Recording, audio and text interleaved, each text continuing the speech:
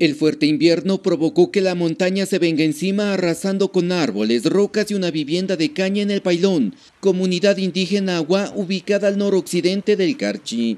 Perdió todo, las cobijas, peroles, todo ropas, más cédulas, todo.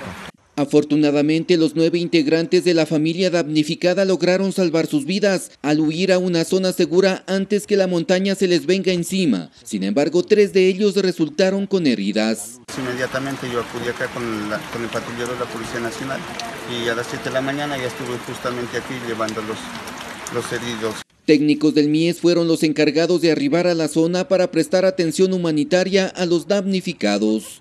En este caso, lo más primordial, nosotros queríamos estar el día de hoy porque sabíamos su situación, que no tenían ni en dónde descansar el día de hoy. Los damnificados recibieron vituallas, atención médica y psicológica para superar los estragos del invierno.